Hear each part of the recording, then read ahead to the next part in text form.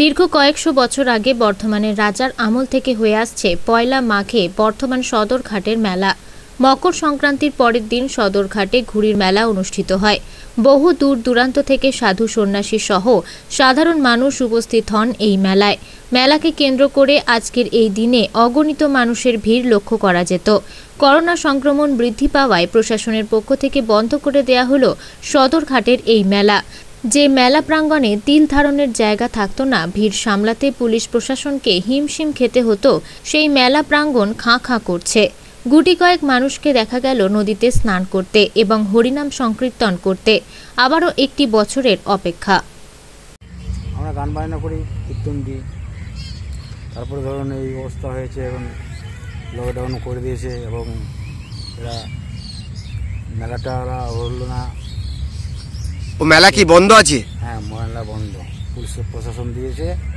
হ্যাঁ প্রশাসন দিয়ে মেলা বন্ধ হয়ে গেছে। এতে কি আপনাদের কোনো ক্ষতি হয়েছে?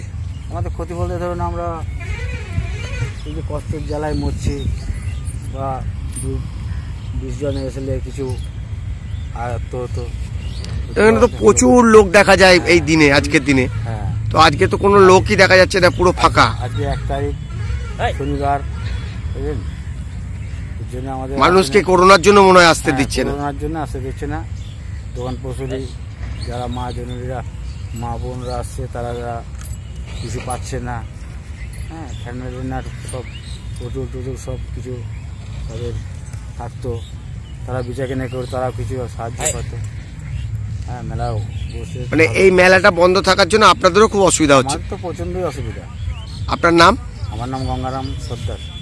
আপনি এখানে কি করেন? কোনো সময় রিক্সা চালাই কোনো সময় গান বাজনা করি। ধর্মীয় গান বাজনা করেন? হ্যাঁ। বর্ধমান থেকে পিন্টু প্যাটেল ও টিঙ্কু সাহের রিপোর্ট আনন্দ বার্তা।